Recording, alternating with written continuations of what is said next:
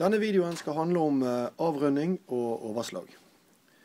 Um, la oss se på et eksempel her. Roger har 50 kroner.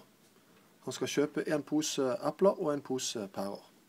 Her ser vi at uh, eplene koster uh, 9 kroner og 64 øre, altså 9,64 kroner.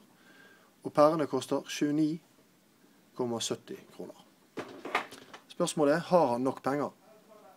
Um, avrunding handler om å gjøre tallene enklere å regne med. Så de eplene, 9,64, hvis vi runder det av til 10 kroner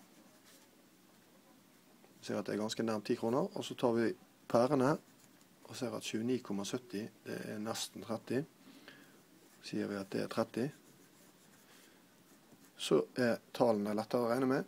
10 kroner pluss 30 kroner er 40 kroner.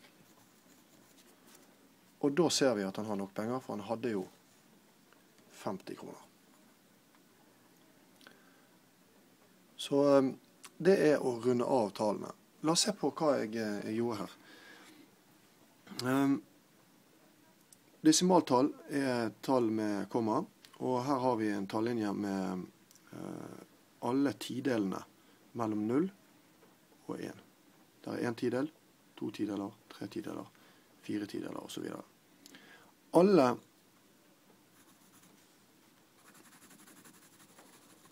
tall som ligger her, er nærmere 0 enn 1. Og alle tall som er her, er nærmere 1 enn 0.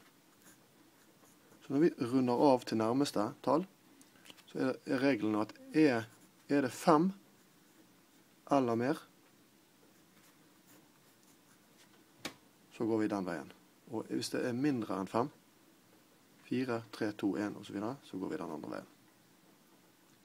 Det samme gjelder eh, selvfølgelig lenger opp på tallinjen.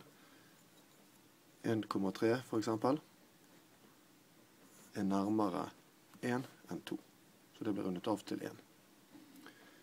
Her har vi noen tall. 3,7. Tre heler, tre enere. Syv tideler. Da må vi se på det tallet som en, eh, Vi skal runde av til nærmeste hele her. Da må vi se på det nærmeste tallet, som er tidelene. Og så sier vi at det er nærmere 4 enn 3.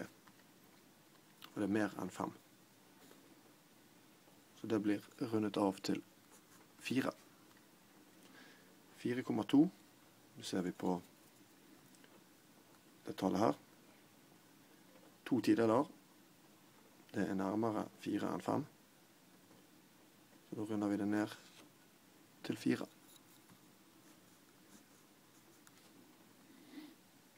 Her har vi et eh, desimaltall med flere desimaler. 11,80.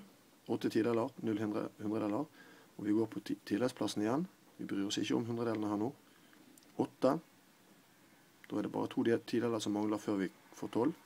Så det blir rundet av til 12. 23,69. Vi bryr oss ikke om hundredelene, vi går og ser på tidelene. Og tidelene det er nærmere 24 enn 23 her. Sant? 6 runder vi opp til 24. Så opp til nærmeste hele. Dette tegnet her er et aliktegn som betyr tilnærmet. Er tilnærmet lik altså er nesten lik, eller er cirka lik. Se litt på eh, disse tingene. Lykke til.